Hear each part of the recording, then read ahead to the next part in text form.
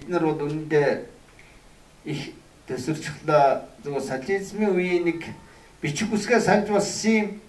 Энд нэг дэндээ миний харамсч байдаг юм бол ганцхан л байдаг. Үнэн дээр яг бичиг үсэг ингээд яг орсон шахалтаар ингээд сольж тэгэнгүүт түүний өмнөх тэр олон зууны үеийг энэ шинэ үсгээр нь буулгаад тэр үед бол бүгдийг мэддэг чаддаг архив материал ресурсууд байсан. Энийг хэвлэхийг нөгөөх шашны, пядлын, хосордсны гээд энийг судалдаг үнийч Эрдэнэчуга Дандсрангоо хоёр яг хэвдэ одоо донгоцсон чи ундгүй улсууд тэр хоёр дөвгчүүдээр нь хуучин болоод энэ талын үлээ үзийг одоо энийг л оролдоно гэж нэг орхичхад тэрийг хэвлээгүй орхичихсан уран зохиолоход нацагдавчаас эхлүүлдэг. Тэрнээс өмнө Монголын өдий төдий уран зохиолыг ерөөсөө буулгахгүй говийн дашгирны юут арвжааг бол яг бас нэг арай харцсангүй 80-аад оноос нэг цөөн зохиол нь орж ирсэн. Бусд нь одоо байдгүй саяхан бид нар болгож нааш нэг кокс өдрө 3 литрээ гаргасан. Тэгэл энэ олон өдий төдий Монгол зохиогчдын зохиол орчуулгын монголчуудын маш ариун сан байгаа юм. Энэний хэл бол маш гайхалтай. Үнэн дээр та нар бол эхнээд орчуулга гэдэг улсуудын уул нь төвдөөс орчуулдаг энэ орчуулга мэрэг дархан орнууд орчуулгын онол нь тэр чигээрээ байдгийн штэ. Онол юм. Орчуулгад ийм ийм зарчим баримтлнэ гэд тэр Данжуурыг орчуулахын тулд Мэрэгдхэн орон гэдэг тол бичгийг тэр 10 ухааны нэр томьёогоор тэр ара өр Монголоос суглуулсан 200 гаруй орчуулагч нар нийлж байгаа жил хөрөхгүй хугацаанд 225 батий чинь орчуулсан юм дээ. Тэгэхэд тэрий чинь нэг лавлах болгож урдаа зохио тавьж байгаа байсан учраас тэрнээ зарчмаа урдан тодорхойлсон байдаг учраас маш сонин зүйл байдаг.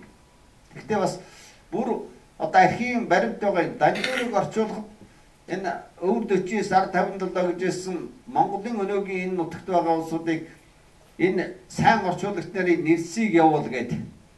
Бээжин тэр үеийн шалгаад тэн дотроос цоочж дуудаад өдрийн 2 лам мөнгөний хөдөлсөд сууцгааж байгаад жил гарахгүй хугацаанд одоо тэр 10 ухааны зохио шүү дээ. Зурхаа, ангаа ухаан одоо олон ухааны номыг жил гарахгүй өрөхгүй хугацаанд 3400 гаруй их зохио штэ орчуулсан байгаа. Би тэгээ боддог байхгүй. Өнөөдөр англи хэлний нэг 200 гаруй дэвтэр номыг нэг 200 хүн олж орчуулж чадж байгаад нэг өрөх хугацаанд орчуулдаг үед одоо хүн болгоно англи хэл мэдл хэлтэй. Тэгэхэд энэ яадаг бол да энэ олдохгүй хаа. Тэгэхээр тэр үед бол бас орчуулгын төвшин гэдэг бол бас Тэгээ нөгөөд нэг юм бол хятад гэлний сонгодог зохиолуудын орчуулга бол энэ төвд орчуулгаас бас их өөр.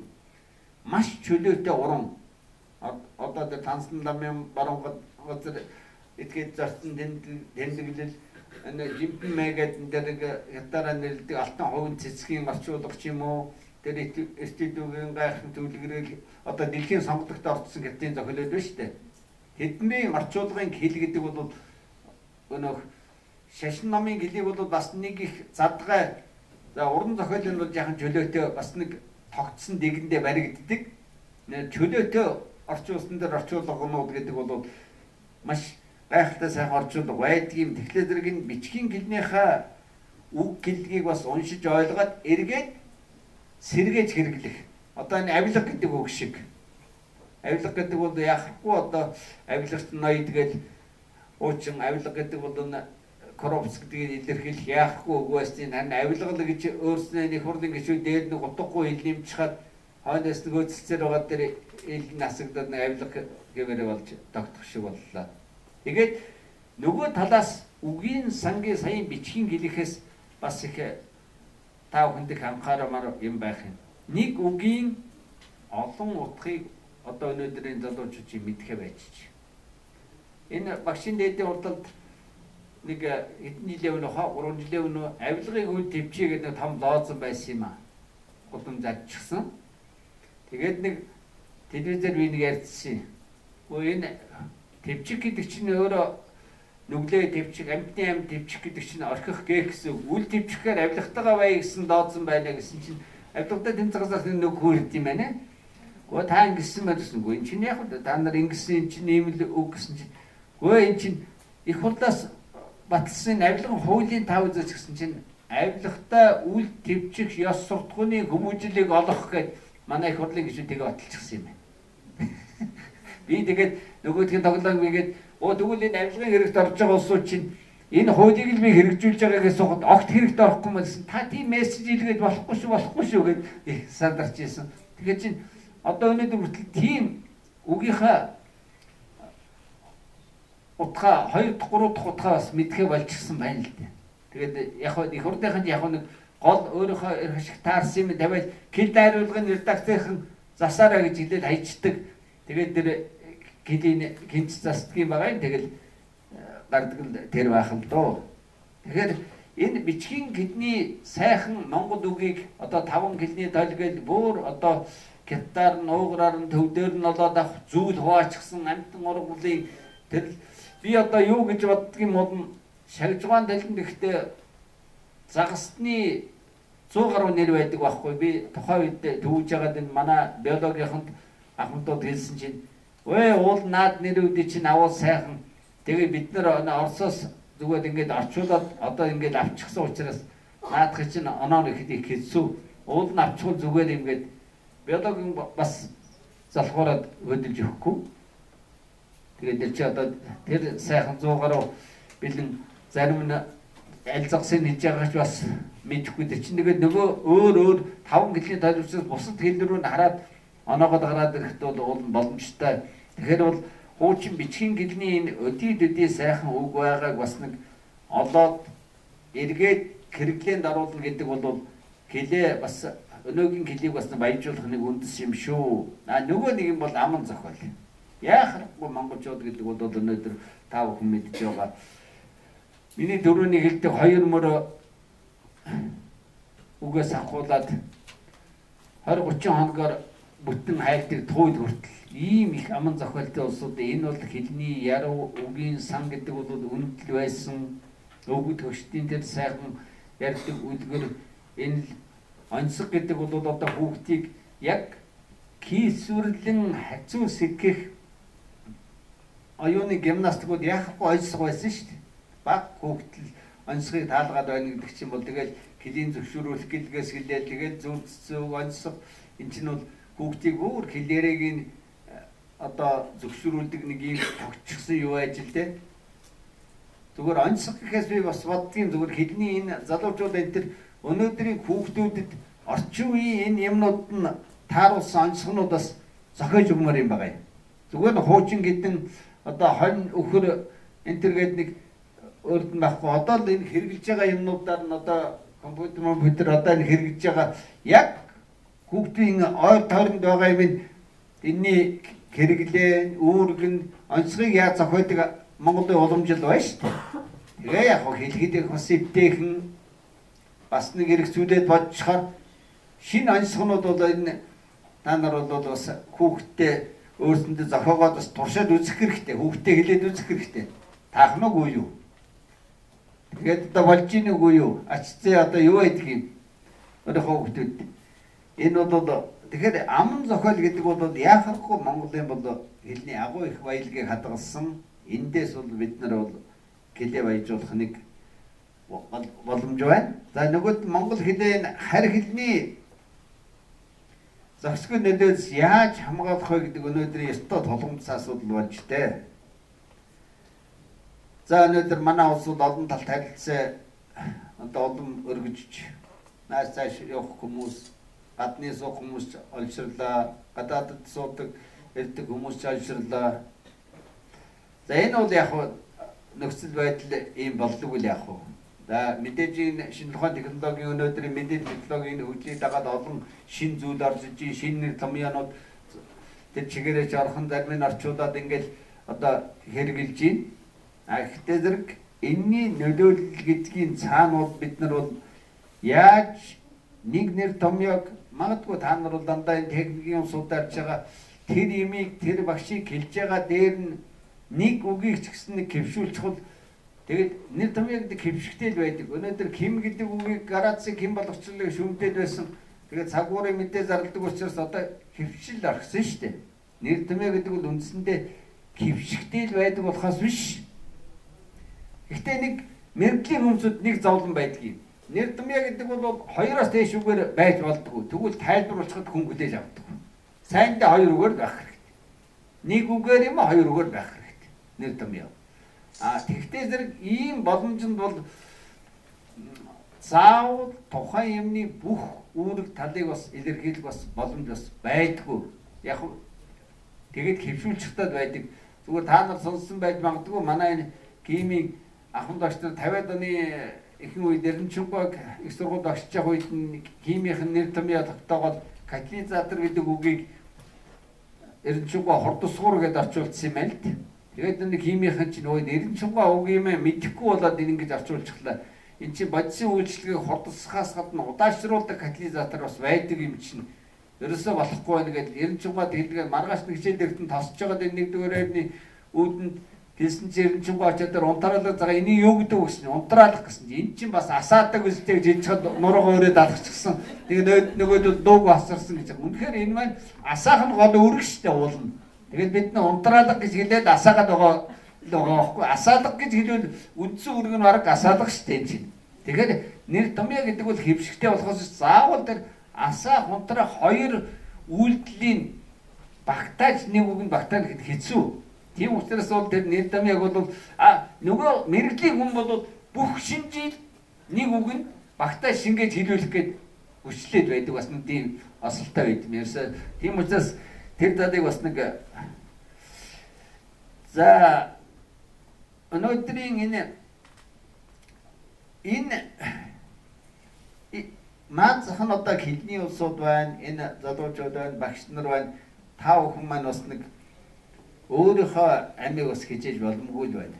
Одоо нэг наад зах нь годомжийг харал та. Энэ телевизийг харал та.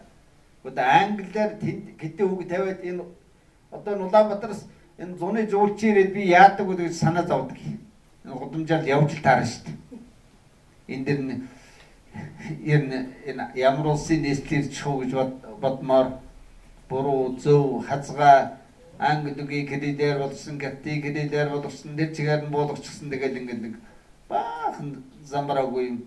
Бас а нөгөө талаас бол телевиз ч гэсэн энд бол зүгээр энд эргэн болгоныг бас зүтгэл хэрэгтэй байхгүй миний яриад байгаа экил гэдэг маань Хэлний биднээс гадна ерөөсөө Монгол иргэн болгоны хүүхдээ хүмүүж эцэг болгоны үүрэг байх хэвээр.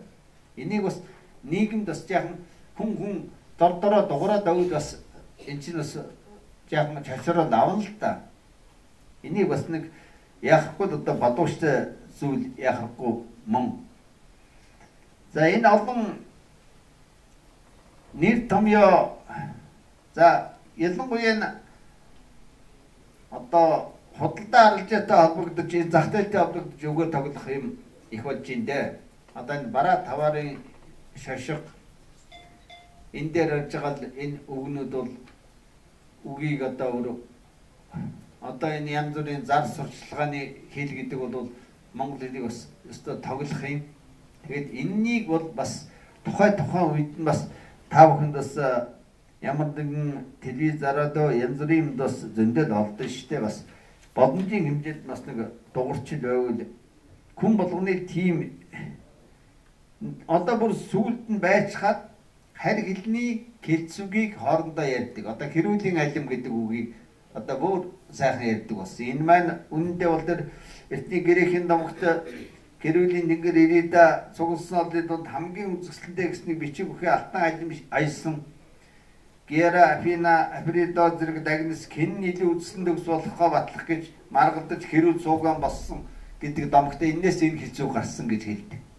Үндэ монголчууд яс аяхал гэж хэлдэг шүү дээ. Тийм ээ. Хоёр нохоо хооронд яс гэдгийг хоёр хүний хооронд хов гэдгийг хэлгээл хэлдэг. Одоо тэгээд гадаадын хилцүүгийн хүртэл одоо тэр чигт нь эдэшүүлэл одоо авчих юм тэр төвдөгөө нэг хэлний хүчирхийлэлгээд нэг өгүүл бичсэн байсан тэнд бас сонь зүйл идсэн байсан л дээ. Сүүлийн үед төшмөлөд өөрсдөө нээлттэй хөнгө зурагтаар магтуулан ярьдаг болсон. Гэтэл тэр хүний юуч нээгдээгүй харагддаг. Энэ нь Орос сүмтийн харигдээс үг авахдаа шууд калих гэдэг нингүн цагаан цаас тавьж байгаад гэрэлтэн буу зургийг яг тэр чигээр нь хууж явдагтай адил өгүүлдэл юм. Монголчууд нээлттэй хүн гэж ярьдаггүй харин элен далангүй хүн гэж ярьдаг шүү дээ гэд. Үнэхээр одоо нэг иймэрхүү имийг бол зүгээр энэ чинь монгол хүн юу гэдэг вүлээ гэдгийг та бүхэн нэг бодож ялангуяа энэ одоо та бүхэн чинь гадаад хэлэн дээр хоёр хэлэн дээр тэр тусмаа оюутны бас нэг киламын засагт нь энэ талаар их бодож ивэл зөв юм аа. За тэгээд би одоо нэг дөрвөөс нэг гадар нэг гуралтай маань нөгөө юм маань болчлоо. За тэгээд энэ үгээр тоглогчтой үндэ тэмцэх хэрэгтэй байна дөө. Заримдаа одоо бол одоо энэ нэг ялангуяа улс төрийн хүрээнийхэн бол үгээр тоглох. Одоо зарим нь чамирх, зарим нь одоо дайрах энэ нэг монгол хэлний чинь үгийн нэг үгийн өргөмж, ёрийн, доромж найруулгын баг 3 аяс үг байна шүү дээ. Одоо монгол хүн бол сохоргон гэхгүй нүд муутай хүн, доглон гэхгүй хөд муутай хүн тийм үү? Нүдийн гэхгүй чих муутай хүн гэдэг юм уу? Одоо энэ бас ирүүлээд хэлдэг үдид үг болгоод л бас энэ байж идэг. Тэгээд нэг тэгээд тэр итгээд үгийг хэлснээрээ одоо яг өөрийнхөө үгийг хүчтэй болгох гэдэг юм шиг нь мууг олж нэвтрүүлэхдээ бас их сайн заримдаа шууд орчуулгыг нь одоо энэ ач холбогдлого гэдэг гончигдорж оруулсан да математикийн нэр томьёд байдаг юм шиг байгаа юм. Вет мислэ гэж тэр яг тэр үгийн калих математикас одоо дарга нар болгон энэ утгаараа гэж байгаа хүн бол яриад бишээд одоо мөр хэвших шиг боллоо. Энэ багварлт багтаад гончигдорж л ярьж ирсэн юм аа. Тэгээд нэг тийм калих юм тэгээд газар авчих юм аа амархан. Тэр нь Тэгэхээр нэг та бүхнийг би энэ одоо нэг яг замбраагүй наан цан наруулад одоо юм ярьчлаа. Энийний цаана бол ерөөсөө нэг гэлний ер нь тойл бичгийг та бүхэн бол харин томоохон тойл бичиг ашиглаж байгаа бах. Тэгтээ тэр толгой өгний цаана нэг холбоо өгнүүд тавьчихад утга тавьсан байгаа шүү дээ. Оюутай чигт нь тэндлүүл анхаарч байгаач.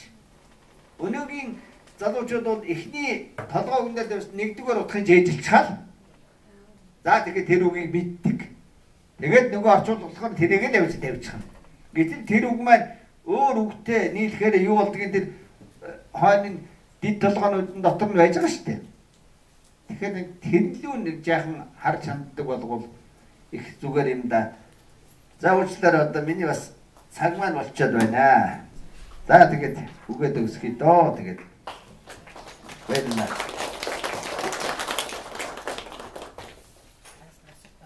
За тэгвэл яг ганц нэг асуулт байна. Ганц нэг асуулт. Баах мэдэн шүү. Ганц нэг асуулт гэхээс дахиж нэг лекц яг өшөөд дэлгэрэнгүй ярилцах зүгээр юм шиг. Зүгээр яг өөр энэ тэгээд тодорхой юм бол та нар бас магадгүй зүгээр өөрсдөө ярилцъя гэж байгаа бол нэг яг ийм ийм ийм орчуулгад ийм ийм бэрхшээл байна. Яг над баримттай урдаар нэгэн цуглуулад өгвөл яг тэн дээр чинь би түшглээ дэрв дээр. Одоо саяхан шиг би өөрөөхөө нэг ажигласан ганц нэг жишээг цасаад та натаас хэцүү шттэ. Яг та нарын өөрсдийн чинь урд тулгарсан юмнуудаа нэлээх баримт түгээд өгчих бол яг тэн дээр чинь ярих юм бол арай илүү бүтээлч үр дүнтэй байх. Тэхүү. За тэг. Баярлалаа.